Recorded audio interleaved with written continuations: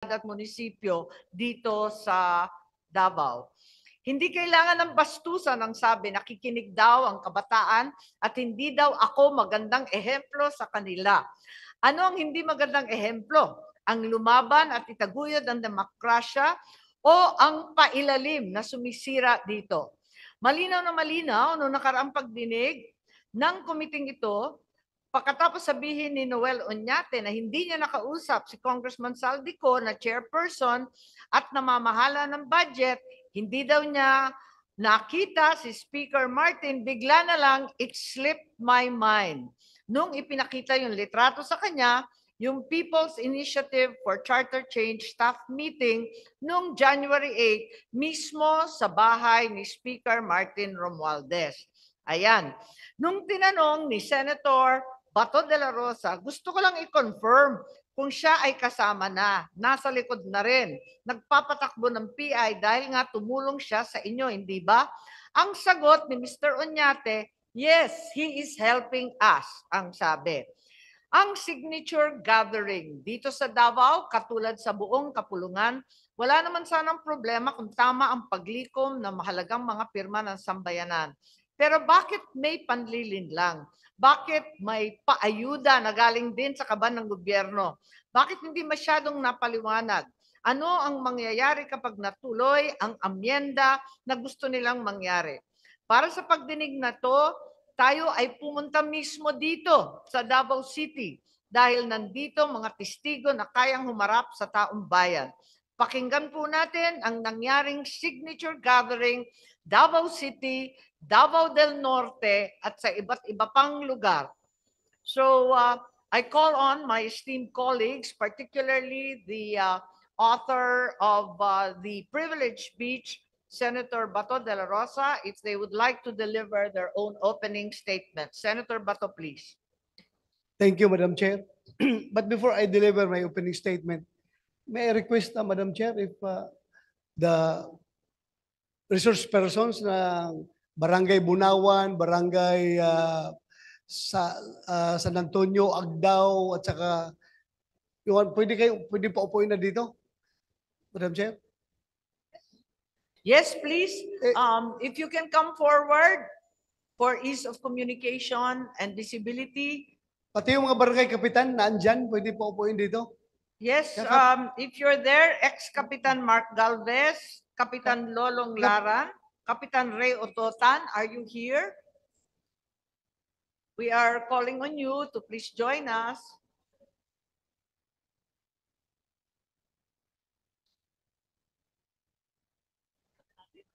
Ma'am? ah. Yeah, yeah. Ito. Tapos, uh, usaa. Usaa. Mag-produce kayo ng upuan kung hindi magkasya sa single line sa likod. May another upuan.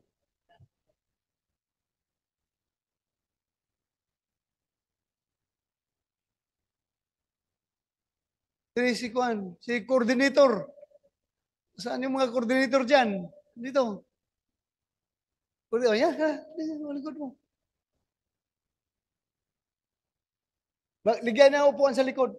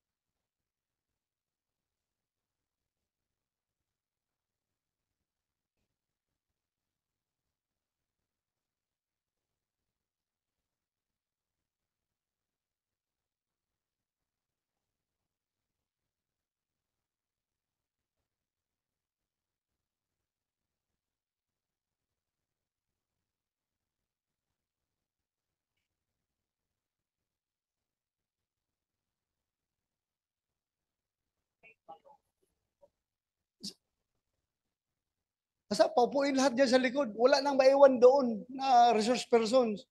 Dito, lagyan ng upuan dyan para malayo kasi hindi marinig nila. Tanan mo, tanan mo, abante mo diri tanan. Dalhan na lang yung bangko. Arsahan yung bangko. Ilinya din sa likod.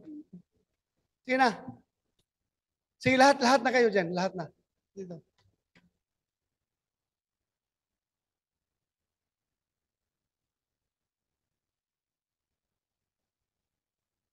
Wala na mayawang resource person doon sa likod. Dito na.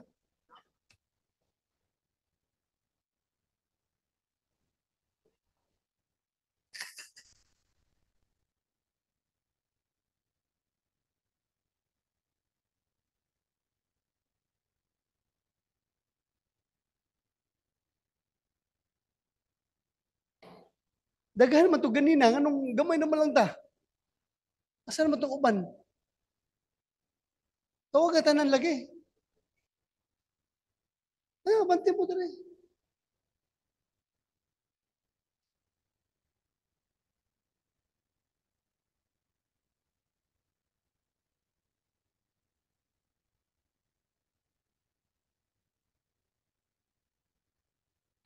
Thank you. Uh, Madam Chair, Senator Amy Marcos, uh, my dear colleagues, uh, Senator Bongo, and to all our resource persons, mayong buntag ka natong tanan.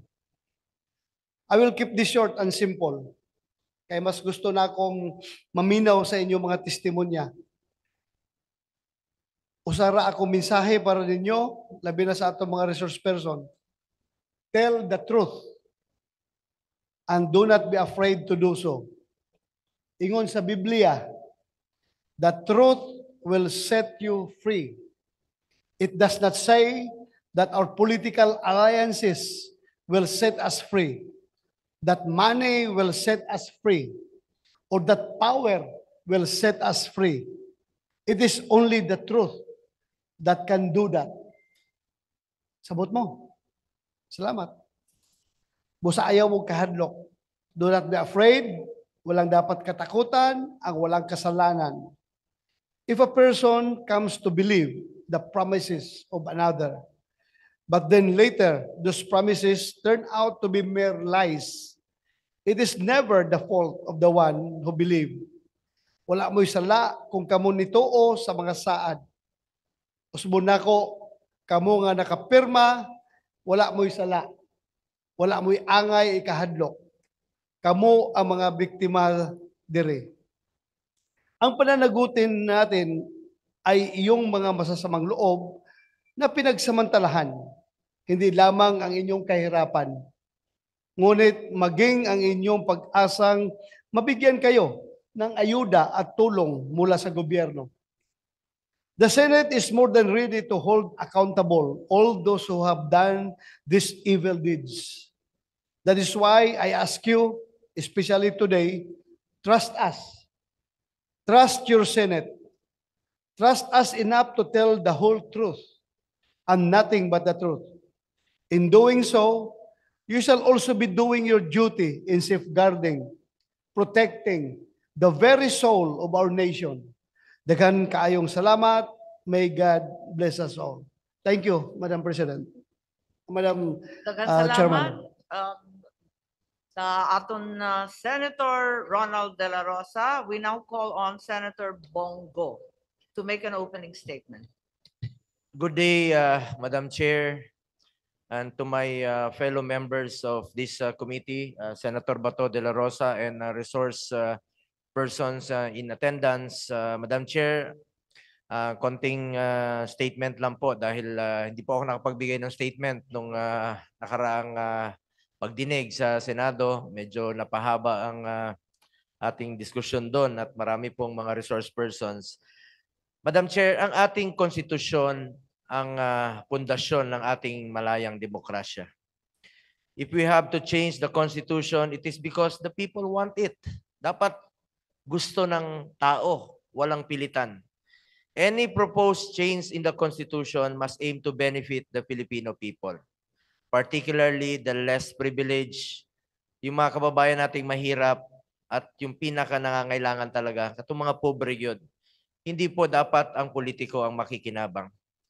Last Senate uh, committee hearing, Madam Chair, we heard testimonies from various witnesses claiming they were paid to gather signatures for the proposed change to the Constitution.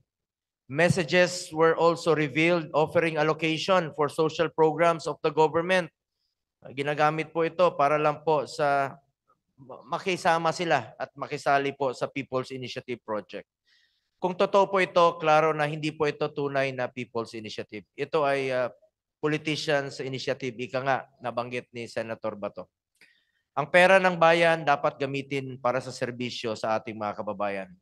Walang kapalit ang tulong mula sa gobyerno. Pera nyo po yan. Kung may sini kung meron pong sinuhulan, bribery po yan. At hindi po yan free will ng Filipino people. Dapat po ay managot ang ah, involved sa suhulang ito. Kaya nga po tayo nandirito.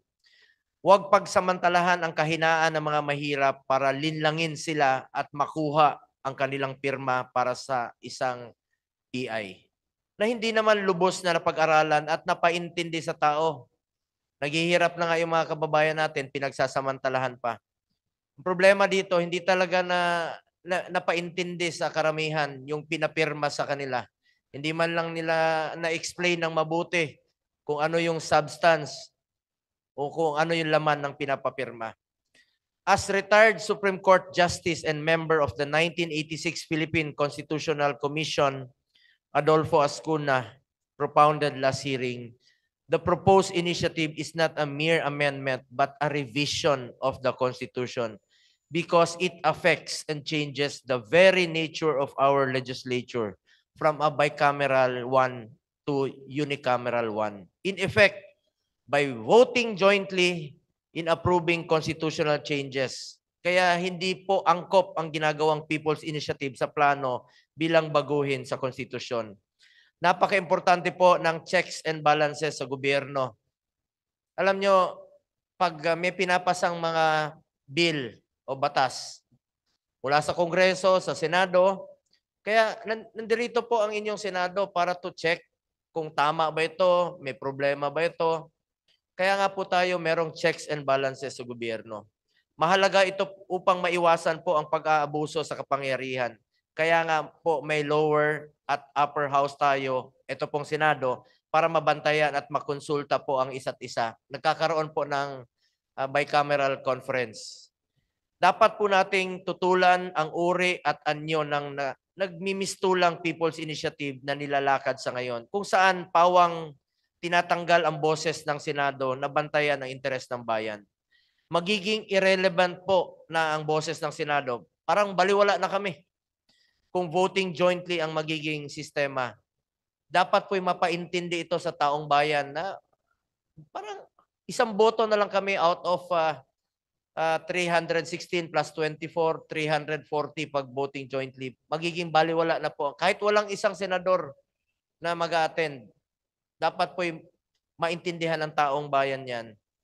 Yun po ang tinatawag natin magiging wala na kaming saysay, maging irrelevant na po. Mawawalan ng boses ang mga senador na hin- hinalal ng taong bayan mula sa iba't ibang sulok ng bansa. Voted nationally po kami, nationwide po. Binigyan po kami ng mandato para maging representante ng lahat ng Pilipino at isulong ang aming mga advokasya sa paggawa ng mga batas na makakatulong sa ating bansa. Ibig sabihin kami po yung talagang representative ninyo. Buong Pilipinas po yan.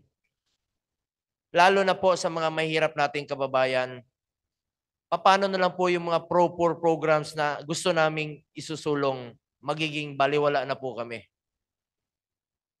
Sinasabi ko nga po ito bilang isang senador, kundi bilang isang, hindi ko po ito sinasabi bilang isang senador, kundi bilang isang ah, Pilipino na hindi papayag na gamitin tayo para sa pansariling interes ng ilan lamang.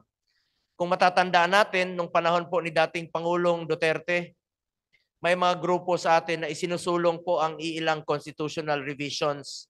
Diba, naalala nyo, yung federalism, meron pong umiikot ng federalism, at meron pong nag-propose na baguhin yung constitution. May nagnanais po na gawing federal ang ating gobyerno. Pero ang ginawa po ni dating Pangulong Duterte ay ah, nagbuo po siya ng isang ah, komisyon na pag-aralan po ito ng mabuti. Hindi minadali, hindi pinilit, at ah, sinunod natin ang batas, nilatag ang proseso. Ito po yung headed by ah, former ah, Chief Justice sa Puno. Nung panahong yon, pinakinggan natin ang hinaing ng kapwa nating Pilipino, gumawa nga po ng komite, ganyan ang pamamalakad ni dating Pangulong Duterte noon. Ika nga, kapag inuna mo po ang interest at kapakanan ng iyong kapwa, hindi-hindi ka magkakamali. At umaasa rin tayo sa ating kasalukuyang Pangulong Bongbong Marcos na makikinig din po siya sa taong bayan. Kaya po sa ating mga kababayan, kung kayo po ay pumirma sa isang bagay na hindi lubos na pinaintindi sa inyo, ang ah, kahulugan ah, o di kaya na realize ninyo na hindi kayo sang-ayon sa inyong nilagdaan, mayroon po kayong karapatan na bawiin ito at dapat bigyan nyo, bigyan po ito ng mekanismo ng ating ah, COMELEC. Mga kapwa ko Pilipino, huwag kayong pumayag na maisahan o lokohin at ah, gamitin ang inyong pirma para sa kanilang mga pansariling interest o interest po ng ilan lamang. Tandaan natin, kinabukasan ninyo at ng ating mga anak ang nakasalalay dito. Sa aking mga kasamahan sa gobyerno, huwag po sana natin haluan ng politika ang tsatsa at lagi nating tandaan ang rason kung bakit tayo nandirito yun po ay magserbisyo at proteksyonan po ang interes ng bawat Pilipino. Huwag nating pilitin ng isang peking PI para sa interes po ng ilan. Kung proseso po lamang ang ah, kung proseso pa lang ng pagkuha ng pirma ay may halong pangliling lang na po. Hindi pinaintindi. Marahil hindi ito ang tamang panahon at paraan para ah, irebisahin ang ating konstitusyon kaysa pag-awayan po na nagiging ah, ah, divisive na po ito ngayon. Naging ah, malaking issue na po ito ngayon at ah, naging ma- magulo. Sana po unahin na lang po natin ang pagsiservisyo sa mga kababayan natin, lalong-lalo na sa mga mahirap nating kababayan. Let's buckle down to work. Sayang po ang oras natin sa pag-aaway dahil dito sa People's Initiative na alam naman natin na hindi talaga inisyatibo at kusang loob ng Pilipino. Sa ating mga kababayan, bantayan natin ang anumang posibleng pagbabago sa ating sarili, sa ligang batas. Bantayan natin ng mabuti. Kayo po ang bantay dito, mga kababayan natin. We must protect the Constitution. We must protect the Senate as an institution. We must protect the interests and the will of the Filipino people. We must protect our democracy. Maraming salamat po, Madam Chair. Yes, uh, thank you very much, uh, the Honorable Senator Go. In addition, by the way, um, to the position papers already formally received and accepted last hearing, the committee further accepts the position papers submitted by Commissioner of Comelec, former Commissioner and uh, Peace Process uh, Advisor, as well as a member of the 1986 Constitutional Commission Rene V. Sarmiento, and if I will be allowed, while entering the entire paper into the record, I would like to uh, simply read a short extract saying in his paper that um, the Supreme Court in Santiago um, said very clearly that the choice of initiative to lift term limits of all elective government officials is not appropriate because it's tantamount to a revision and that moreover, the law, RA 6735, is incomplete, inadequate, and wanting in the essential terms and conditions. Also, he stated that the first and second initiatives um, clearly reflect the present initiative initially launched by several local chief executives supported by PIRMA through a TV advertisement is likewise fundamentally flawed. It is not the Filipino people behind the initiative as author of the proposal, and they would simply be asked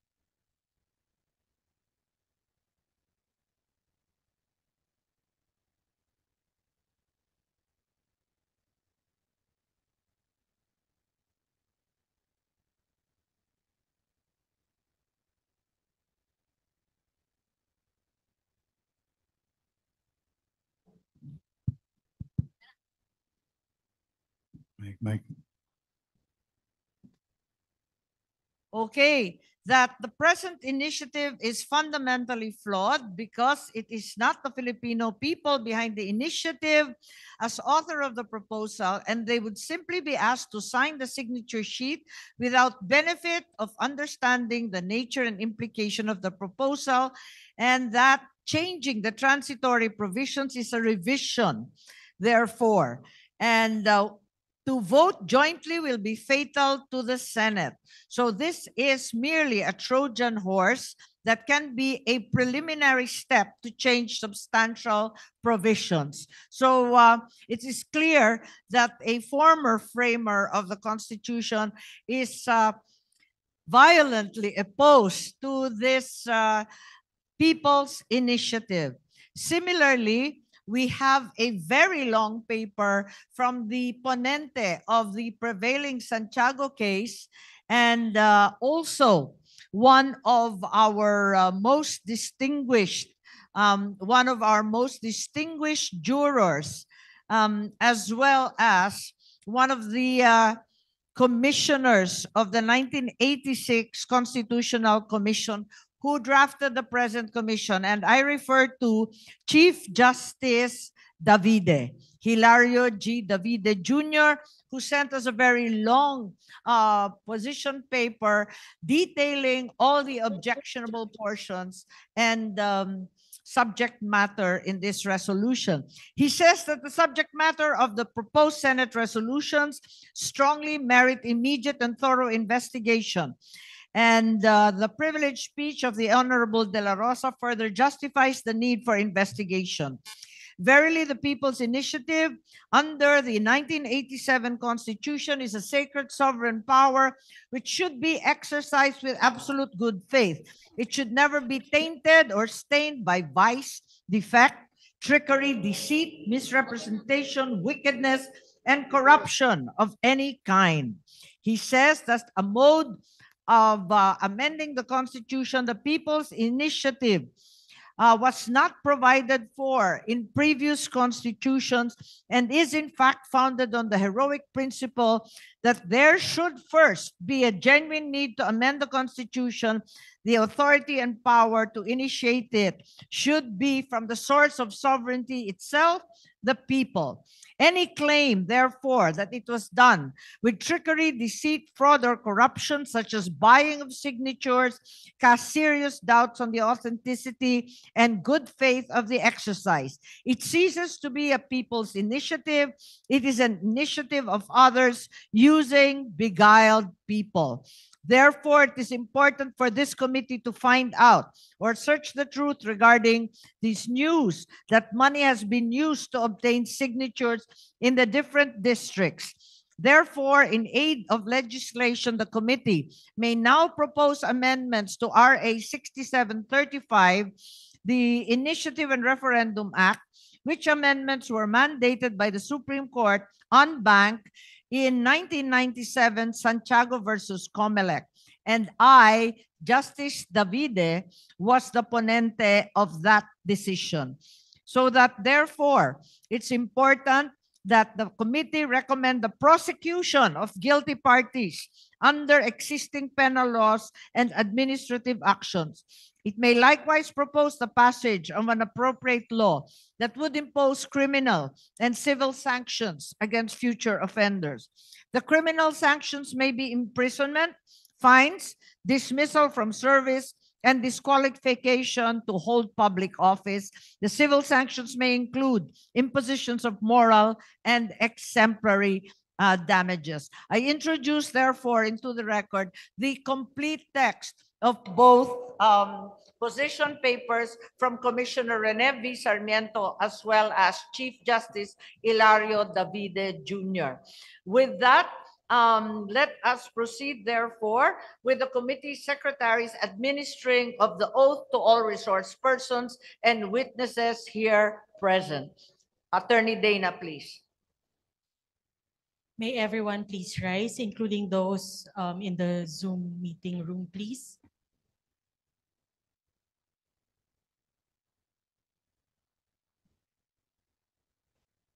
Kindly raise your right hand.